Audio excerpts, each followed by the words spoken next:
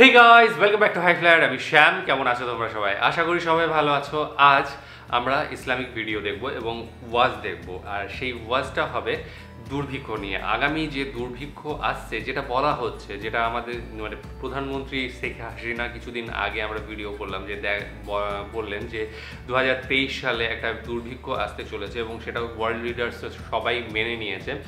তো সেই দুর্ভিক্ষ নিয়েই আজকে ওয়াজটা আবু তোহা আদনানের। তো মহানবী বলে গিয়েছেন আগেই সেটা এই দুর্ভিক্ষের কথা। তো সেটা নিয়েই আজকের ওয়াজ। ডেসক্রিপশন বক্সে লিঙ্ক দিয়ে রাখব। সেখানে গিয়ে অরিজিনাল ভিডিওটা দেখো। সাথে সাথে চ্যানেলটাকে লাইক শেয়ার সাবস্ক্রাইব করে দিও। সাথে সাথে আমাদের চ্যানেলটাকেও লাইক শেয়ার সাবস্ক্রাইব করে দিও। তো চলো ভিডিওটা দেখে নিই, তারপর আরও কথা হবে। তবে একটা হাদিস না বললে আমি এখান থেকে সরতে পারতেছি না। এই কথাই নবী আলাইসাল্লাম বলেছেন হু বা হু এই কথাই। একদম এটাই যে ফেতনা ধেয়ে আসছে। লা ইলাহা ইল্লাল্লাহ ফেতনা ধেয়ে আসছে। তার স্ত্রী জাইনাব বিনতে জাহাজ তিনি বলছেন, ইয়া রাসূলুল্লাহ সাল্লাল্লাহু আলাইহি সাল্লাম আনুহলিকু ওয়া ফিনা সালিহুন? আমাদের মধ্যে সৎ মানুষগুলো থাকা সত্ত্বেও কি আমরা ধ্বংস হয়ে যাব? সুন্দর প্রশ্ন নয়? নবীজি বলছেন, নাম, তোমরা ধ্বংস হয়ে যাবে। ইদা কাসুরাতুল খবাস। যখন এরকম নগ্নতা বেহাপনা অশ্লীলতা ছড়িয়ে পড়বে, তখন সৎ, অসৎ, আলেম, জালেম সব ধ্বংস হয়ে যাবে। জাতি গঠন করবেন, সব ধ্বংস আল্লাহ পাকের গজব সময়ের ব্যাপার মাত্র। আল্লাহ পাক শুধু আসমানি বালাই দেন না, জমিনি বালাও দিতে পারেন। আল্লাহ পাক মুসলিম মুসলিমে ফাসাদ লাগিয়ে দিতে পারেন। আল্লাহ পাক বহিঃশত্রুকে আপনার উপর চাপিয়ে দিতে পারেন। আল্লাহ পাক দুর্ভিক্ষ দিতে পারেন। আল্লাহ পাক মহামারী দিতে পারেন। আল্লাহ পাক কোন বললে ফায়াকুন হতে পারে? সে আল্লাহকে ভুলে গিয়ে এইসব প্রগতিশীলতার নামে যখন নগ্নতার চর্চা হচ্ছে, অশ্লীলতার চর্চা হচ্ছে, আর আমরা এগুলো সব মুখ বুঝে সহ্য করছি, মাদক, পণ, জেনা, ব্যভিচার, সব চলছে চোখের সামনে, আমরা কিচ্ছু বলার নাই, সুদ, ঘুষ, সব চলছে। এটা সময়ের ব্যাপার যে আল্লাহ পাকের গজব কখন আসবে? আর যখন আসবে, আলেম জালেম কাউরে ছাড়বে না ইনশাআল্লাহ। আমারে, আপনারে কাউরে ছাড়বে না ইনশাআল্লাহ। দেখে নিয়ে। আরেকটা কথা নবীজি বলছেন, দুই শ্রেণির মানুষ আসবে কেয়ামতের আগে আগে আমি দেখি নাই। আমি দেখি নাই। তখন সাহাবিরা বলছেন, কারা ইয়া রসুল্লাহ একজন বলছেন, এক শ্রেণি হচ্ছে এমন এক শ্রেণির পুরুষ। কারা এরা? পুরুষ। যাদের হাতে হাতে লম্বা লম্বা লাঠি থাকবে, লাঠি। এই লাঠি দিয়ে তারা মানুষকে পিটাবে। কি আপনারা বুঝতে পারেন না কারা? আপনি নিজেও তার মধ্যে আছেন। আপনার ভাইও তার মধ্যে আছে। আপনি এবং আপনার ভাই দুজনেই এই কাজ করছেন। ভাইয়ে ভাই মারামারি করছেন। সবার হাতেই লাঠি। আছে না? আছে। অথচ উভয় মুসলিম। আর একজন মুসলিম যখন আরেকজন মুসলিমের এগেনস্টে যুদ্ধ করতে যায় বা এরকম মারামারি করতে যায় না, যে মরবে আর যে মারবে উভয়ই অপরাধী। উভয় অপরাধী। হাদিস রিয়াদুস সালেহীন বইয়ের মধ্যেও আছে, দেখে নিয়ে তারপরে দ্বিতীয় শ্রেণি হচ্ছে নবীজি বলছেন নিসাউন এক শ্রেণির মহিলা আসবে, আমি দেখি নাই। মানে ওই যুগে ছিল না। আইএমএ জাহেলিয়াতের বর্বর যুগেও এরকম মেয়ে ছিল না, তার মানে বুঝতে পারছেন? আইএমএ জাহিলিয়াতের যে যুগটাকে এখন বর্বর বলে না, বর্বর, সেকেলে, মধ্যযুগীয়, এসব কথা বলে না, ওই যুগেও এই মানুষগুলো ছিল না, তার মানে। নবীজি বলছেন, আমি দেখিনি লাম আর হুমা আমি ওদেরকে দেখি নাই।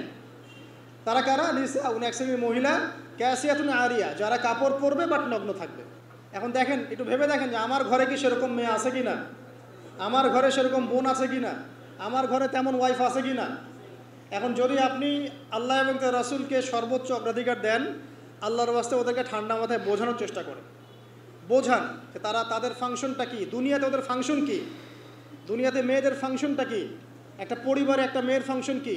স্বামী স্ত্রীর সম্পর্কের মধ্যে মেয়ের ভূমিকা কি? স্ত্রীর ভূমিকা কি? এগুলোকে বুঝান। তবে হ্যাঁ এক শ্রেণীকে আপনি বুঝিয়ে কুল পাবেন না।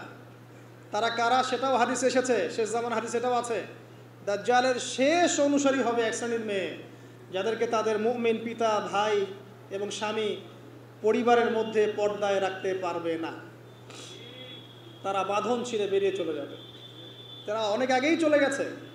তার মানে দাজ্জাল আসার সময়ের ব্যাপার মাত্র। আর যে দেশে আসবে, সেই দেশটা এখন অনেক শক্তিশালী। যেদিক দিয়ে বের হবে, ওইদিকে এখন দেখেন আবার ইরানের মধ্যে কি চলছে। পরিস্থিতি বোঝেন।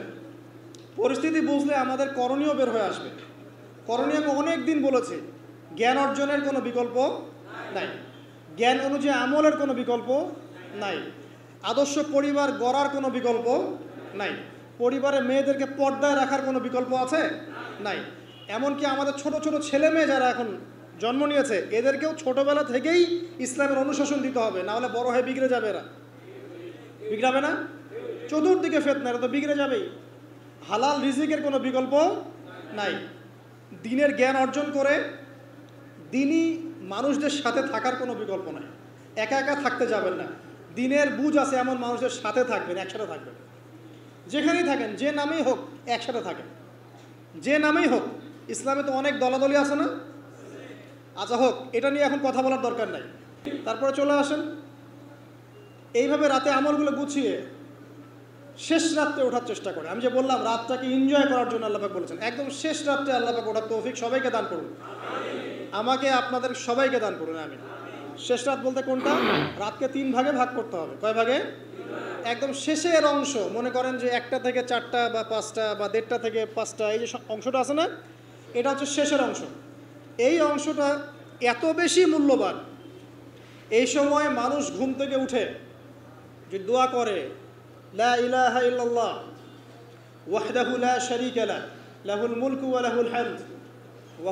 কুল্লি এরপরে বলে, সুবহানাল্লাহ, আলহামদুলিল্লাহ, ওয়া লা ইলাহা ইল্লাল্লাহ, ওয়াল্লাহু আকবার, লা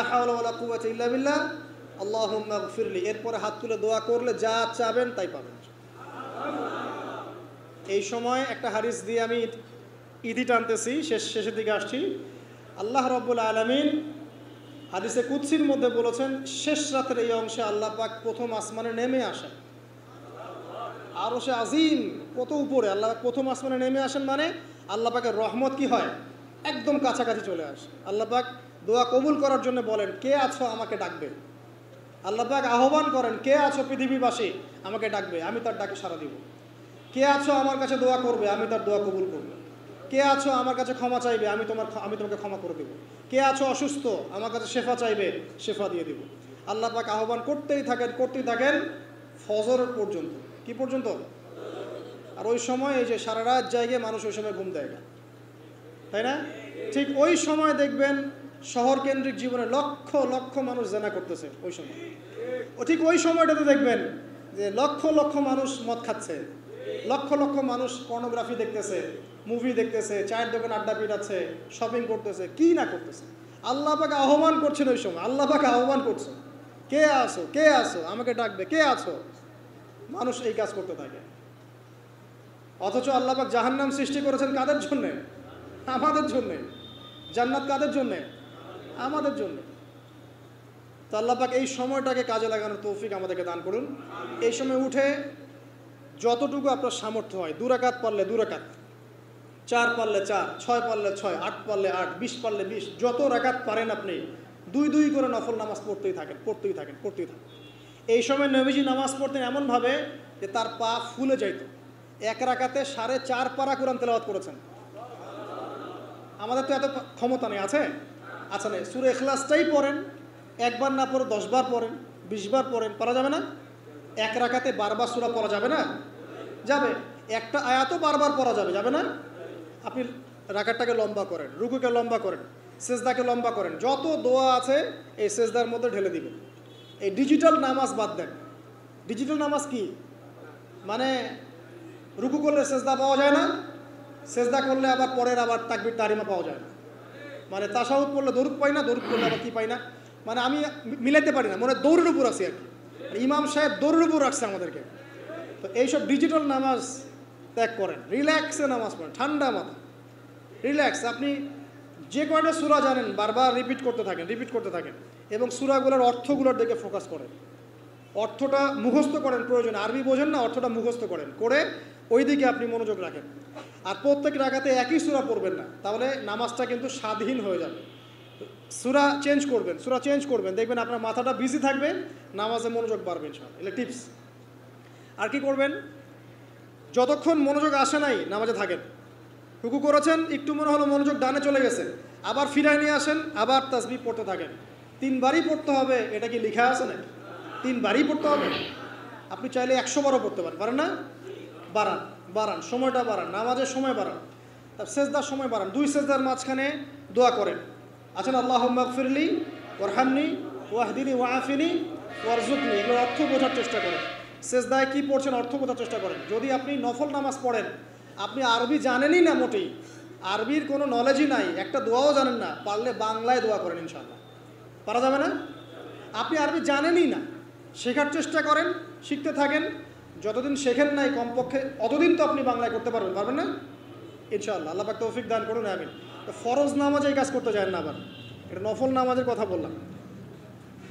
এত যে দোয়া নিয়ে ফিকির, হুজুরকে ডেকে এনে দোয়া করান, মায়ের জন্য দোয়া, বাপের জন্য দোয়া, কুলখানি চল্লিশা কত কি করেন শেষ রাত্রে হাতটা তুলে আল্লাহর কাছে দোয়া করেন।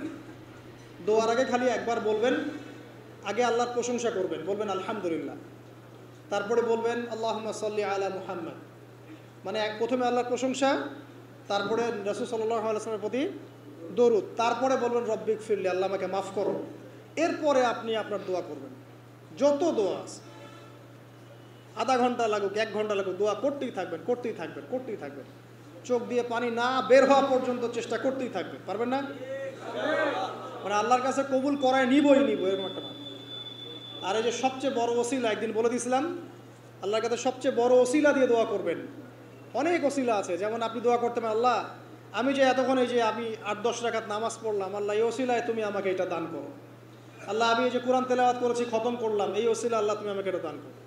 আল্লাহ, আমি গতকালকে এই যে এক হাজার টাকা সৎকা করেছি, এই ওসিলা আল্লাহ পাক তুমি আমার বিপদ দূর করে দাও। এটা ভালো কাজ হচ্ছে ওসিলা। আর সবচেয়ে বড় ওসিলা হচ্ছে আল্লাহ পাকের তাওহিদ। ইলাহা ইল্লাল্লাহ। আল্লাহকে বলবেন, আল্লাহ, তোমার তাওহিদের ওসিলায় তোমার কাছে আমি এইটা চাচ্ছি, ওইটা চাচ্ছি। দেখবেন, ইনশাআল্লাহ আপনার রিজিক যদি হালাল হয়, ওই রিজিকে যদি সুদ না থাকে আর ঘুষ না থাকে আর দুর্নীতি না থাকে, ইনশাআল্লাহ আপনার দোয়া কবুল হবে। আর এরকম দোয়া কবুলের অনবদ্য মুহূর্তেও দোয়া কবুল হবে না যদি আপনার রিজিকের মধ্যে হারাম থাকে। আবু তোহা আদনানের আজকের যে ভিডিওটা ছিল, সেখানে মূলত দুটো বিষয় নিয়েই কথা হলো। একটা হচ্ছে যে যে সামনে যে দাজ্জাল আসছে সেটা নিয়ে এবং কীভাবে দোয়া কবুল করানো যায় আল্লাহর কাছে সেইটা নিয়ে আজকের ভিডিওটা মূলত এই দুটো নিয়েই ছিল। এবং যে টাইটেলটা ছিল, দুর্ভিক্ষ আসছে, এটা যে প্রথমে যেটা বলা হলো যে দাজ্জাল আসছে এবং চারিদিকে যে একটা পাপ ছেয়ে যাবে, সেটার সাথে রিলেট করা যায়। এবং প্রথমে যেটা বলল, বলা হলো যে অনেক হাদিসেই বলা রয়েছে, বেশ কিছু হাদিসে বলা রয়েছে যে একটা সময় আসবে যখন ছেলেদের হাতে লাঠি থাকবে এবং মেয়েরা দজ্জালের অনুসারী হবে। এবং নগ্নতা পর্ন বা এই ধরনের জিনিসপত্রগুলো সমাজে বেশি করে ছড়িয়ে পড়বে। মদ মদ আসক্ত যে সমস্ত পুরুষ রয়েছে, তারা বেশি ছড়িয়ে পড়বে এবং আস্তে আস্তে সেই জায়গাটা কিন্তু যাবে যখন আর কেয়ামত কেউ ঠেকাতে পারবে না। না আলেম, উলেমা, কেউই না। সবার জন্যই তখন শাস্তি তৈরি থাকবে এবং সেই শাস্তি তখন মাথা পেতে নিতে হবে। আর শেষের যে পোর্শনটা ছিল, সেটা দোয়া কবুলের কথা বলা হয়েছে যে শেষ রাত একটা থেকে পাঁচটা অবধি এরকম কিছু সময় বলা হয়েছে।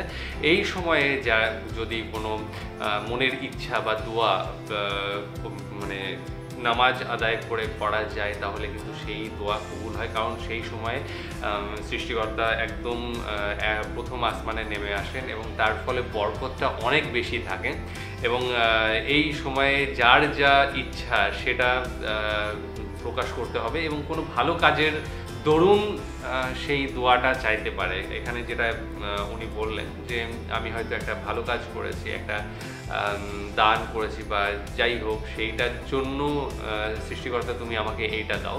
এই যে উছিলাই যেটা বলা হলো, তো সেই উছিলাই পাওয়ার কথাও এখানে বলা হয়েছে। সুতরাং খুব ভালো কথা এবং আমাদের মানে হিন্দু মতে যেটা বলা হয় ব্রাহ্ম মুহূর্ত। ব্রাহ্ম মুহূর্ত এই এই সময়টাকেই যত সম্ভব বলে। ব্রাহ্ম মুহূর্ত এই পাঁচটা, সাড়ে পাঁচটা পর্যন্ত এদিকে দুটো আড়াইটে কি এরকম একটা টাইম আছে যে টাইমটা ব্রাহ্ম মুহূর্ত বলা হয় এবং এটা সবচেয়ে অ্যাক্টিভ আর কি সময়। এই সময়টাই সত্যি যারা মানে আধ্যাত্মিকতা চাই, পেতে চায়, সেই, এই সময়টা তাদের জন্য পারফেক্ট এবং এই সময়ে যে কেউ যেটা চায় সেটা কিন্তু অনেকাংশেই ফিল ফুলফিল হয়, অনেকাংশেই না, মোটামুটি ম্যাক্সিমাম বলা চলে ফুলফিল হয়, কিন্তু মানুষ ওঠে বই যে তাদের সব কিছু ফুলফিল হবে। এই সময়ে মানুষ তখন ঘুমোতে যায়। এখনকার বাচ্চা বাচ্চা ছেলেরা ছেলে মেয়েরা এবং আমাদের সময়ও অনেক ছিল। বিশেষ করে মোবাইল আসার পর থেকে তো এইটা হয়েইছে যে মোবাইল আসার আগে পর্যন্ত টিভি কতক্ষণ দেখতো? বারোটা, সাড়ে এগারোটা, বারোটা পর্যন্ত ম্যাক্সিমাম দেখতো মানুষ। তো তারপর বন্ধ করে এসেছে, শুয়ে পড়তো, ঘুমিয়ে পড়তো। কিন্তু এখন মোবাইল আসার পর থেকে সেইটা কিন্তু এখন সাড়ে চারটে, পাঁচটা হয়ে যাচ্ছে। ইভেন সকালও হয়ে যাচ্ছে কথা বলতে বলতে বিশেষ করে গার্লফ্রেন্ড বয়ফ্রেন্ডের মধ্যে। কথা বলতে বলতে সেটা সাড়ে পাঁচটা ছটা থেকে বেজে যাচ্ছে। তারপর তারা ঘুমোতে যাচ্ছে। তাহলে এই সময়টা তারা কীভাবে মানে কি বলব ফলপ্রসূ করবে সেটা একটু চাপের ব্যাপার তাদের কাছে। এবং যারা বয়স্করা রয়েছেন তারাও এখন মানে বিভিন্ন চাপের জন্য সেগুলো করতে পারে। বিশেষ করে আহ, শহর কেন্দ্রিক জীবনধারায় কিন্তু এটা ভীষণ ইম্পসিবল হয়ে যাচ্ছে। সেটা বিভিন্ন ধরনের কাজকর্মই থাকুক, বিভিন্ন ধরনের মানে এন্টারটেনমেন্ট হোক যে কোনো ধরনের সেটা। পার্টি হোক বা খেলাধুলা হোক, সমস্ত কারণে কিন্তু মানুষ লেট করে যাচ্ছে ঘুমোতে এবং এই যে ব্রাহ্ম মুহূর্ত বা যেটা শেষ রাত বলা হচ্ছে, সেই সময়ে তারা ঘুমোতে যাচ্ছে অথবা সেই সময়ে নাইট ক্লাবে পার্টি ফার্টি হচ্ছে। তো সেই সময়টা তারা উপ- উপযোগ করা- করতে পারছে না। তবে যারা গ্রামের মানুষ রয়েছে, তারা এখনও ভোরবেলায় ওঠে। তবে তারা কতটুকু এর ব্যাপারে জানে, সেটাও কিন্তু একটা বড় ব্যাপার। কারণ এই সময়ে চাইলেই যে পাওয়া যায় বা চাওয়াটা কীভাবে চাইতে হয়, সেই জিনিসটা কিন্তু অনেকে জানে না। সুতরাং তাদের জানানো কর্তব্য যারা জানে তাদের তাদের ক্ষেত্রে। এবং আমরা যেটা দেখি যে যারা সফল মানুষ, একটু যদি খেয়াল করে দেখি, যারা সফল মানুষ, তাদের লাইফস্টাইল যদি দেখি, তাহলে তাদের ম্যাক্সিমাম দেখব, তারা কিন্তু ভীষণ সকাল সকাল ঘুম থেকে ওঠেন। ভোরবেলায়, বিশেষ করে ভোরবেলায় মানে পাঁচটা, সাড়ে চারটে, পাঁচটার মধ্যে তারা ঘুম থেকে উঠে পড়েন এবং তারপরে তাদের নিত্য নৈমিত্তিক যারা যারা যে ধর্মে বিশ্বাসী, কেউ নামাজ করেন কেউ পূজা আর্চা করেন, কেউ প্রে করেন, তো সেইটা করার পরে কিন্তু স্নান টান করে তারপর করার পরে কিন্তু তারা বিভিন্ন কাজে বা জগিং বা যে, যাই হোক, যেটা প্রত্যহ মানে প্রত্যহ যে সমস্ত কাজকর্ম সেগুলো করতে শুরু করে। তো এই সফল ব্যক্তিদের দেখেও আমরা যদি শিখতে পারতাম, তাহলেও বা হতো। তো যাই হোক, আমাদের নজরটা অন্যদিকেই থাকে এবং যে যেটুকু পেয়েছি সেটুকু নিয়েই আনন্দে থাকতে চাই। তো যাই হোক অনেক কিছু জানলাম, অনেক কিছু শিখলাম এবং তোমরাও আশা করি অনেক কিছু নিয়েছো এখান থেকে। তো কেমন লেগেছে অবশ্যই জানিও। ডেসক্রিপশন বক্সে লিঙ্ক দিয়ে রাখব। সেখানে গিয়ে অরিজিনাল ভিডিওটা দেখো। সাথে সাথে চ্যানেলটাকে লাইক শেয়ার সাবস্ক্রাইব করে দিও। আজকের মতো এখানেই শেষ করছি। আগামী দিন আবার আসব অন্য কোনো ভিডিও নিয়ে ততক্ষণের জন্য। Stay tuned.